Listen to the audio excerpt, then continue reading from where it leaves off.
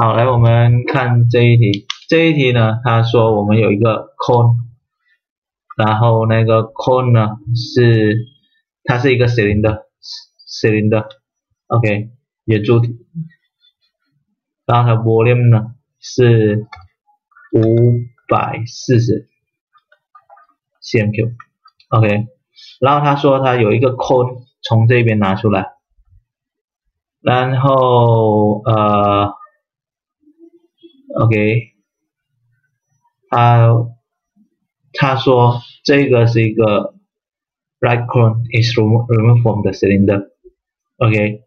然后那个 cone 的高度是 half of the cylinder，calculate the volume of the remaining solid，OK，好，来就是说在这一边的时候呢，这一题它很夸张，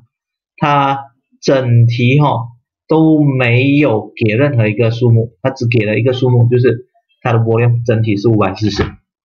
，OK，然后他说这一边它整个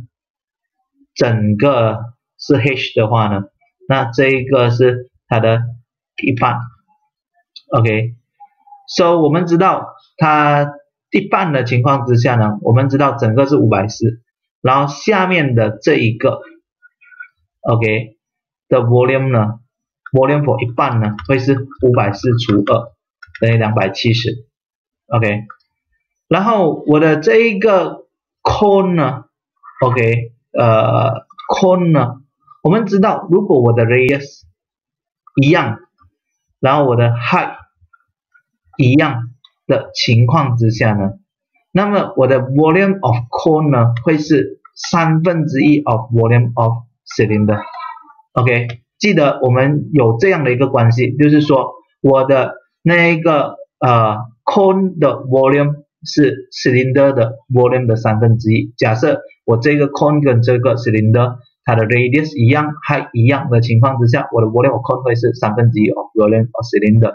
所以它会变成三分之一乘以两百七，然后它就变成九十 cm³。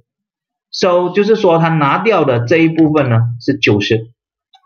然后，所以现在要的是 volume of remaining 的话呢，就是原本的五百四减掉九十，所以我拿到的是呃四百五十 cmq，所以这就是我的答案了。OK，所以这一题呢，其实它需要你算的东西不多。OK，它你只要懂它的那个概念，OK，你很清楚它的概念的情况之下，你只是做一点点的计算。